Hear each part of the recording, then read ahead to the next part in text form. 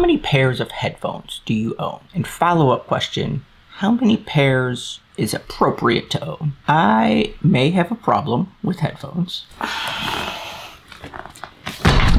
And the Cyberpunk bag is currently filled with them. So we're gonna go through my headphone collection. Starting with the ones that are on my desk.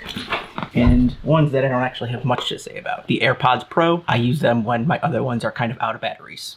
They kind of fall out of my ears. Not the biggest fan of them. But if we open up the bag of treasures, there are many, many more.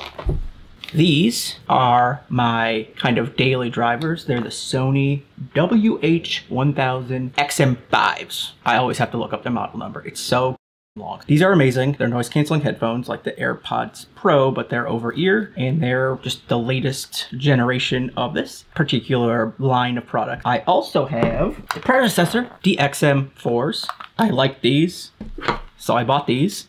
And prior to these, I had the XM3s, but I gave them to my father. Really like that line. Next up, what are we gonna pull out? This is a wired set. This is the Beyerdynamic 990 Pros, and I believe these come in different variants for the impedances, and this is the 250 ohm model. I've got the amps and stuff to drive those. These are open back, which isn't too much my thing, uh, but I kind of use them out here on the Junk Mother. For that, they're perfectly suited. Ah, the first pair of fancy headphones that I ever bought in like 2010 while I was in Japan. These are the Audio Technica ATH M50s, the classic edition. Hate the coiled cable on these, but they have survived many years. I have fixed them numerous times, replaced the cushions, on these numerous times and they continue to serve me well. Then next up, pull out one of the little pairs. Just in case of, I need a backup pair of headphones, these are the KZ ZSTs. I got these on Amazon for like $30 years ago and they sound great. All right, we're coming into some of the gaming ones.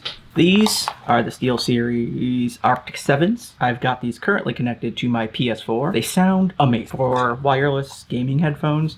Microphone's pretty good. They're comfy to wear. Perfect. And the other ones I bought to originally match the white PS5. These guys. These are the Logitech G733s. These are okay. And they kind of work, but they don't sound the greatest to me. And the microphones kind of, but whatever.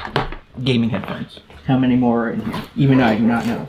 These are actually my least favorite pair. Grado SR80Es. I bought these on recommendation of a friend. They sound okay, but the form factor is just trash. So I almost never wear these. They're connected to my keyboard right now. Finally, oh, my favorite pair and the newest pair that damaged my wallet quite a bit.